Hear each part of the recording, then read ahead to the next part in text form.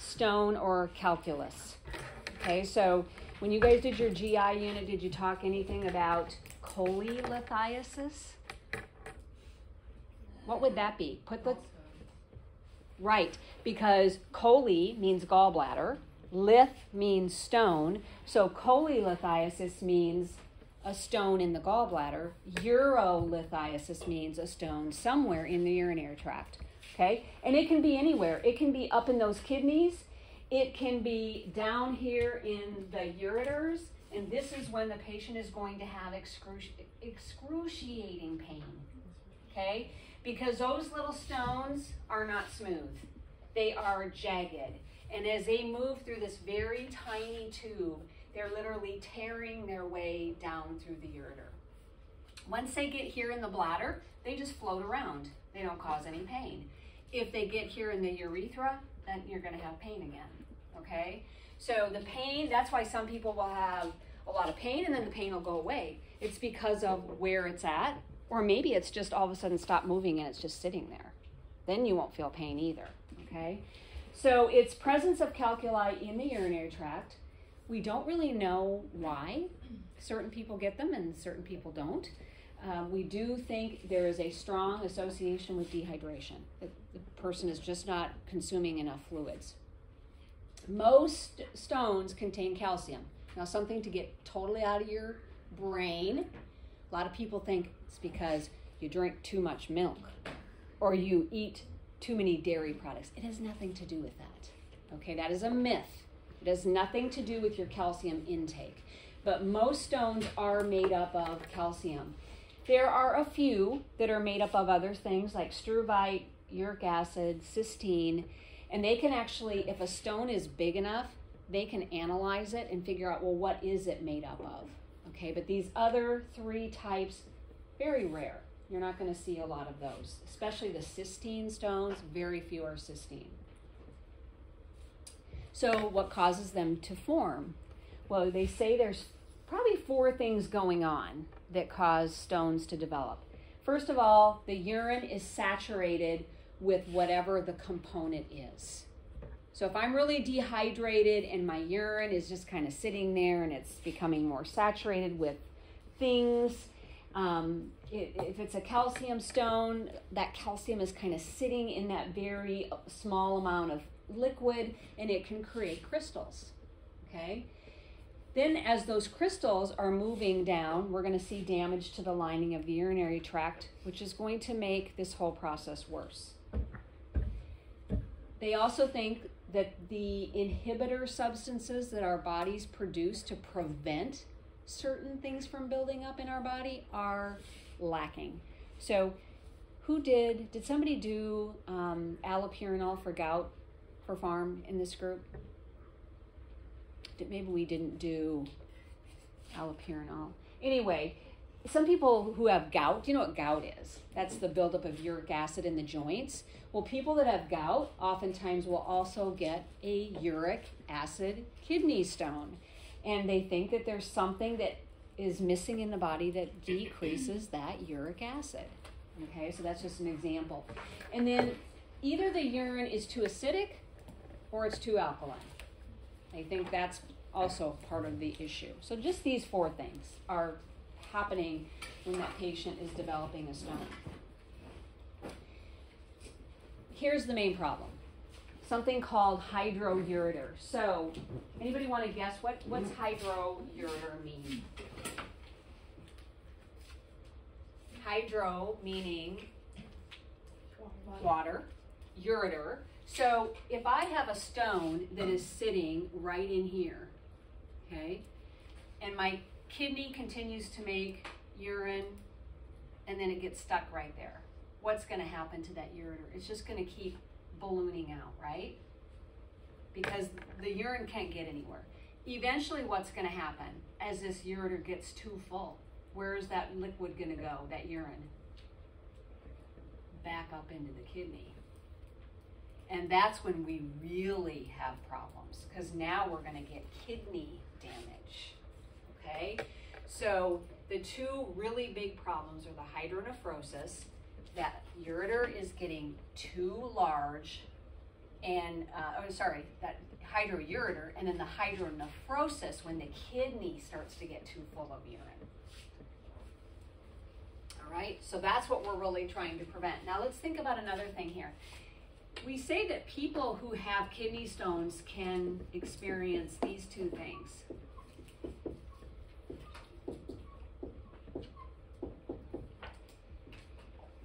Okay, what does OLI mean? Small amount. Okay, so some people that have a kidney stone will have decreased urine output, which we call oliguria. What would this mean? None. None. So when would that happen? What would have to be the situation here to get this? What? Which means what? You got a stone on both sides. Is that common? No, but it could. So if I have a stone here and I have a stone there, and this is totally occluded, I'm getting hydroureter and hydronephrosis on this side, I'm going to get no urine. That's anuria. That is not common, but it can happen. Usually it's one side. There's one other situation where I could end up with anuria. Where other, where is the other place that stone could sit to create this? Right here. Okay. So if you have a patient that has stones that has anuria, you're going to worry about those two things. Either this is true, that both ureters are blocked, or this is true, the urethra is totally blocked and urine can't get out. Okay, again, not super common, but it can happen. Usually we see more of this as one side is being blocked. Okay?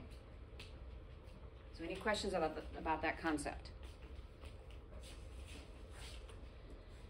So who experiences this? About 12% of adults will end up with a kidney stone at some point in their life, and it will be more common in males. Okay? So, what I want you to do is on your canvas, you have a case study. And so let's talk about this case study together. So, everybody bring up your case study.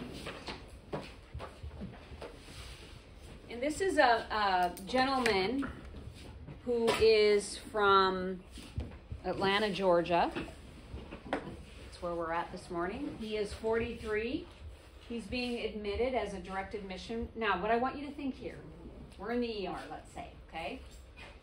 Or the floor, wherever we're at. I want you to, I know we're talking about urolithiasis today, so you're going to kind of under think right away, well, yeah, it's a kidney stone, because that's what we're talking about today. But pretend that we don't know that. This is just a gentleman who comes in, he's 43, he complains of excruciating lower back pain for the past 12 hours. He has had recent nausea his past history is pretty unremarkable. He's had a tonsillectomy. He had a fractured femur as a teenager. He does have hypertension, treated with lisinopril. Um, he experienced three days of low grade fever, nausea and vomiting, headache, which he treated with Tylenol and bed, at, and bed rest at home. Initial nausea and vomiting, vomiting subsided. Fever has been gone a little over 30 hours, and you can see what his admission vital signs are. Okay, the patient is allergic to sulfa. Okay, what information does the patient's admission vital signs provide for the nurse? So, what do you notice about his vital signs? Temperature is um, high. It's actually not fever, though, right? The temperature? Do you agree? What's fever? 100.4, but it's higher. It's a little higher. Kind of low grade. Getting, you know, and he has had fever a couple of days before. What else is high? He's very tachycardic. What about his blood pressure? High, right? How's his O2 sat? Totally normal, right? Okay. What about his respiratory rate? Yeah, a little bit high too, right? What do you think is causing all these vital sign elevations? Pain, probably. Right? What do you think is causing this on and off fever? Inflammation. go another step further. Yes, there is prob there's definitely inflammation here, but what would cause does the does fever cause elevated temp or what else is probably going on here? Infection. As urine sits stagnant, not moving, it's a great medium for infection. So many of our patients that come in with kidney stones also have an infectious process going on. Okay? Um, so, um, but at this point, you don't know this. You just know his he's got back pain and he's got these weird vitals. So, what would you be asking a patient who comes in to your facility with these symptoms? What are some things that you're going to ask to kind of figure out what the problem is? Okay, what is where where is it, right? And describe it.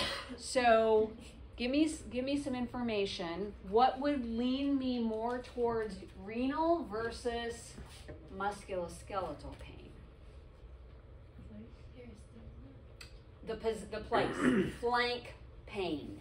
Where's the flank area?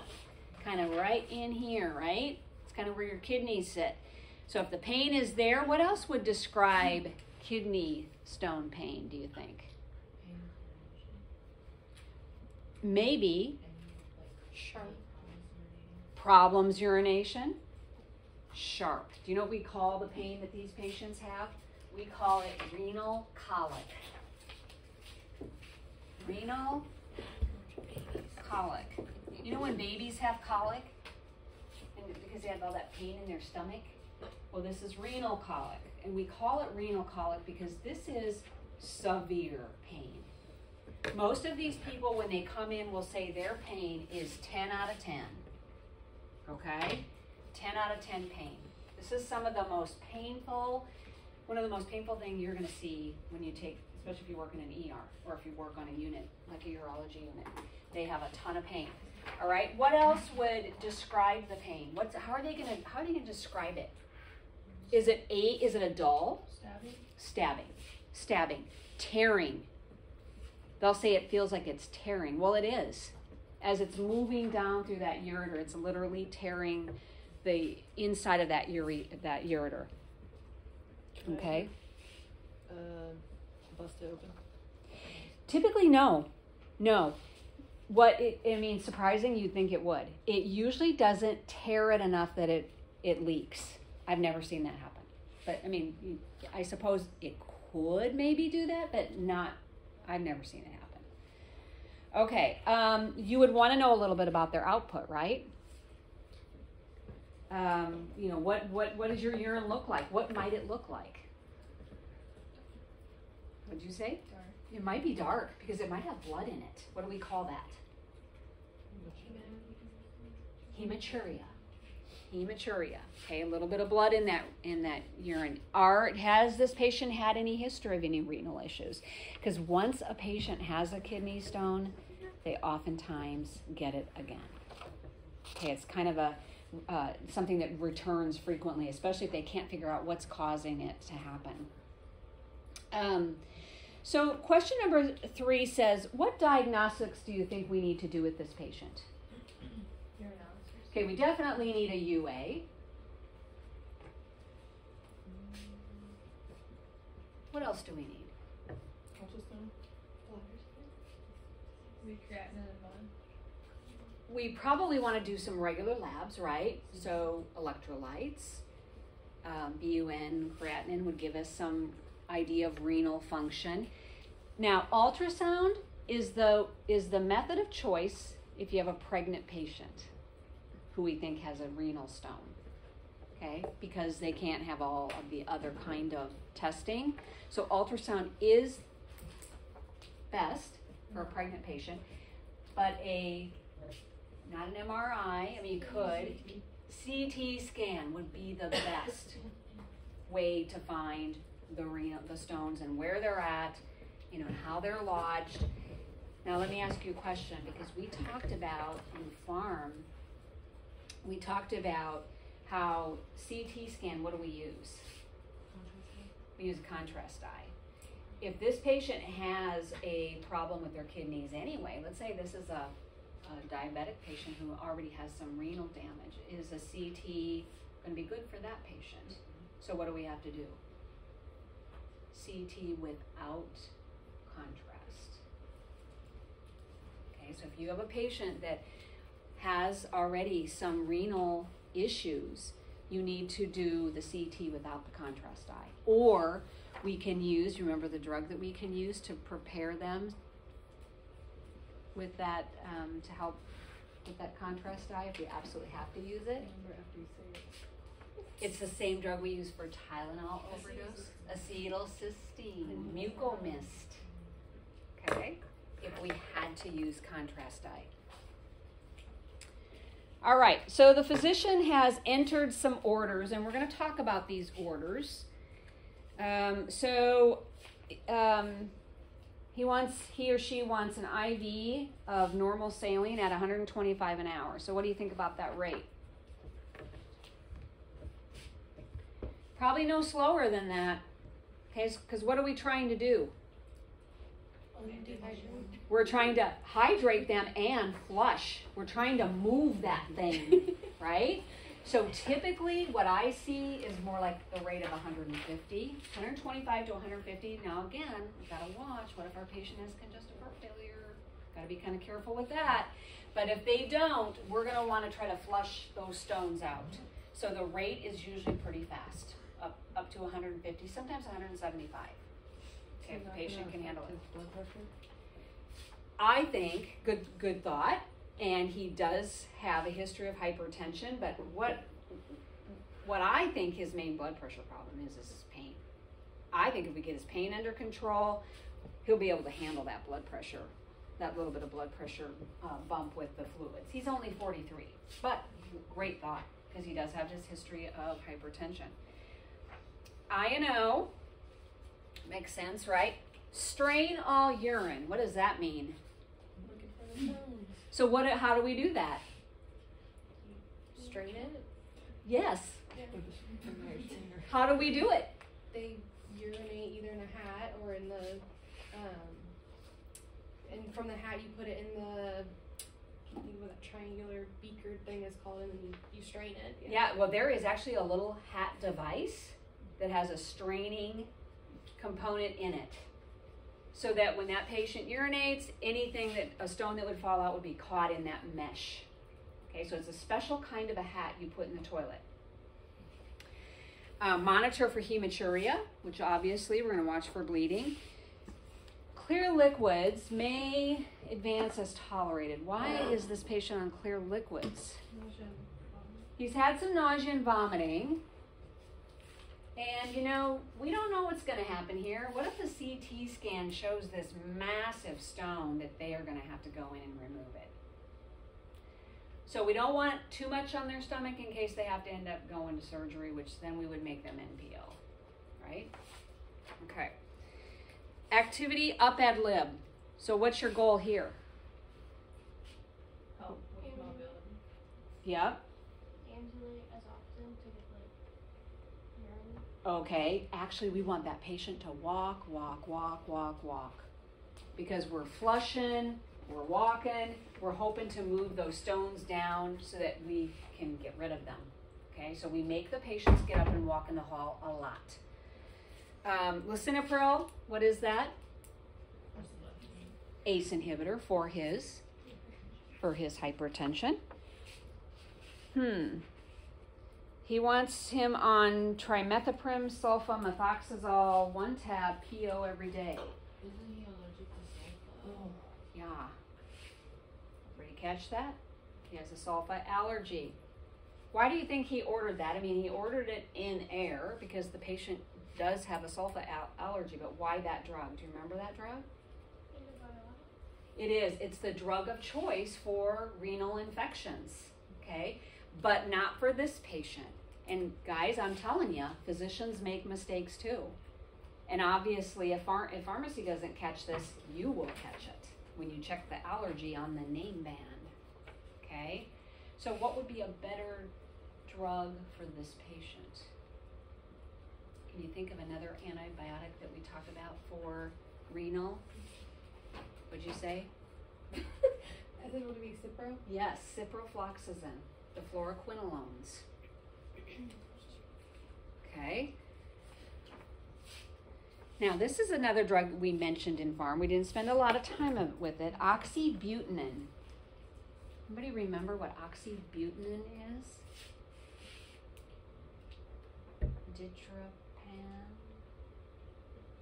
Is it for like blockages? It's gonna help, but what's it for?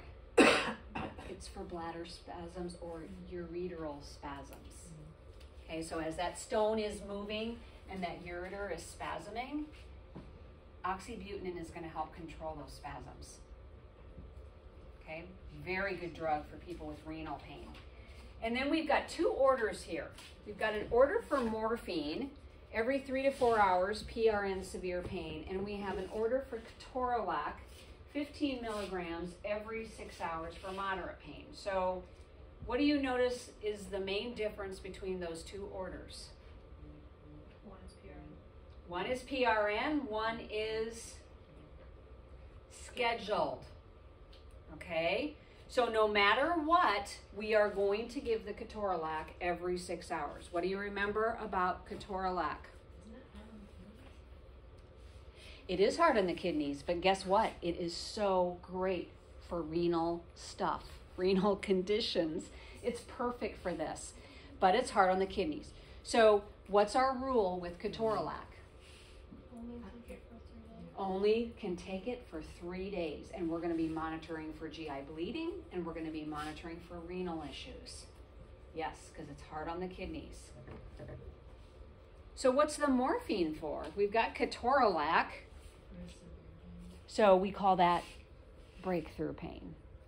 Okay, so if the patient is, you know, gets some relief from the ketorolac, but when he's waiting for that next six hours, and let's say at the, you know, after four hours he's starting to have that pain coming back, then we can use the morphine. I'm here to tell you that there is not going to be anything that controls urolithiasis except ketorolac and a narcotic. Can't tell a patient with a kidney stone to take a little ibuprofen because it's not going to work. Okay, this is excruciating pain. All right, so we've got morphine for breakthrough pain. We have our ketorolac. They're going to do, do a CT scan, UA with culture and sensitivity, which you guys mentioned. We're going to get regular labs, and then there's an order to um, bladder scan every four hours, and if the output is less than 200 mils every four hours, and if the residual in the bladder is showing up as 500 or more, we're going to insert a straight cath. Okay. So, have any of you had the opportunity to bladder scan yet in clinical? Okay. And so it is like an ultrasound. You just take the little bladder scanner into the room, you put a little gel on their abdomen, and you find the bladder, and you figure out how much is in that bladder. Okay, and if it's more than than the 500, we need to put in a red Robinson, that red catheter tube that I'm sure you saw in foundations. We insert that, drain the bladder, and then just keep monitoring. Okay, so any questions on that? All right, so for your exam, these meds are fair game. So, oxybutynin, you should know. Morphine for uro or another narcotic, you should know for urolithiasis.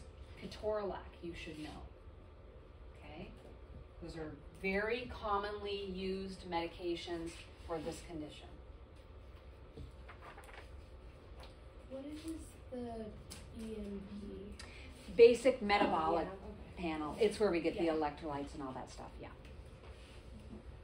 Okay, so we already went through number four. What was the rationale for all of these orders? Um, so the CT, I'm going to tell you the CT shows stones, right? So we we um, we're just going to hopefully walk this patient, hydrate this patient, get the stones moving. Okay. Um, I do want you to go back to his initial history. Um, there are three things in his history that made him at risk for this disease. Male, Attention? you'd think, but no, hypertension doesn't actually increase the risk. So is lisinopril? No, he lives in the South. People in the South are more prone to urolithiasis. Remember how we talked about the South being the stroke belt? Where that's where we see a lot of cardiovascular disease, a lot of strokes. Well, they are also, because of some of their dietary factors, are also more prone for urolithiasis. And then the third one is his age. Young, uh, kind of 30 ish to 50 ish male is kind of our prime time for kidney stones. Okay, so not necessarily older uh, men, but more this middle age. All right. Um, it has been two days. The calculi passed. Great. We saw it in the strainer. Um, he's going home. What do you think you should include in discharge teaching for this patient? Okay, hydration. Literally, these people have to be told you need to drink a lot of water. Okay? Um, there are also some dietary things if we're able to figure out what the stone is. There are some dietary things you can do, and there's a great um, list in your book of ideas for different kinds of stones. So, but diet really doesn't help a lot. It's really keeping hydrated is what is going to help that patient more than anything. And then a lot of activity. So, um, if we do know what the stone is made of, there are some meds that patients can take on a, a, routine basis to prevent them. So if we know it was a calcium stone, the thiazide diuretics will work. Um, if it's an oxalate stone, vitamin B6 and the thiazide diuretics will work.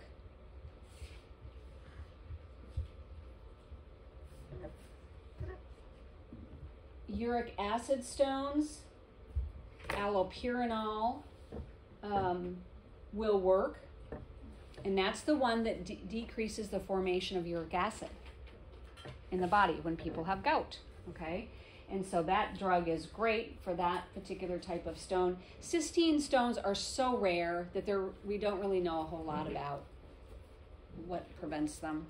Um, so I didn't list a med there for that particular one.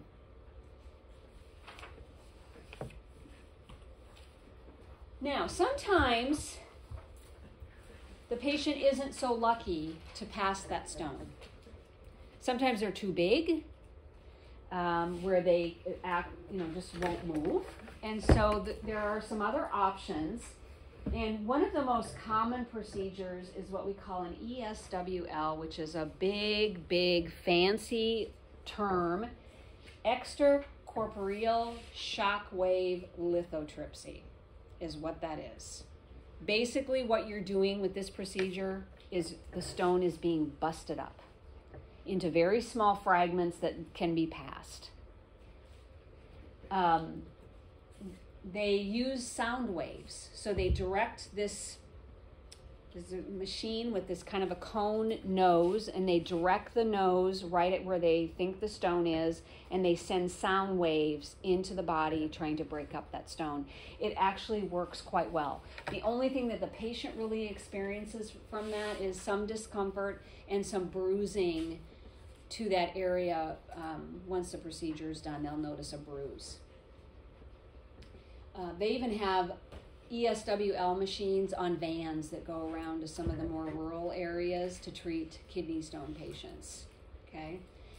Um, stent placement has become very popular. It's a little more invasive, obviously, where they go in and put a stent in the ureter, trying to open up that ureter a little bit to let that stone go past.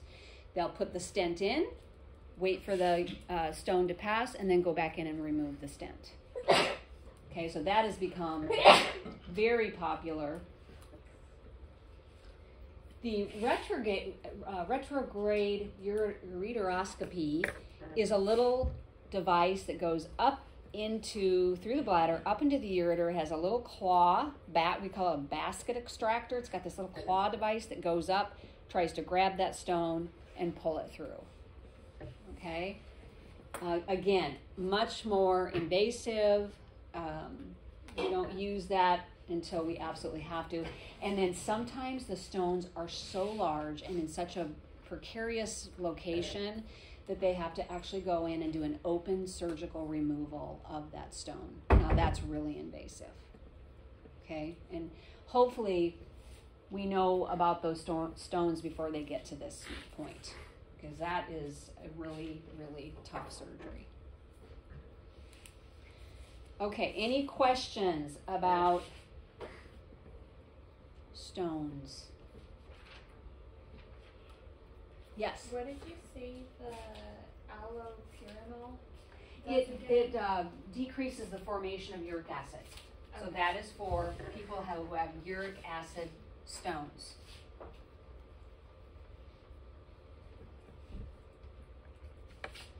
Okay. Let's switch gears a little bit and let's talk about the prostate gland. Okay? So BPH stands for benign prostatic hypertrophy. What does that mean to you? Benign prostatic hypertrophy. Non-cancer or tumor-related enlargement of the prostate. Okay, so hyper hypertrophy means enlarged, benign means non cancerous. Okay, so it is a male whose uh, prostate gland is enlarged. What happens is the um, prostate gland kind of sits right in this area and it starts to put pressure on the urethra. And so, what does the male experience? They have to pee a lot. We call that frequency. What else happens? They have nocturia. What does that mean? Okay, peeing in, at, in the night, right? What else might they have?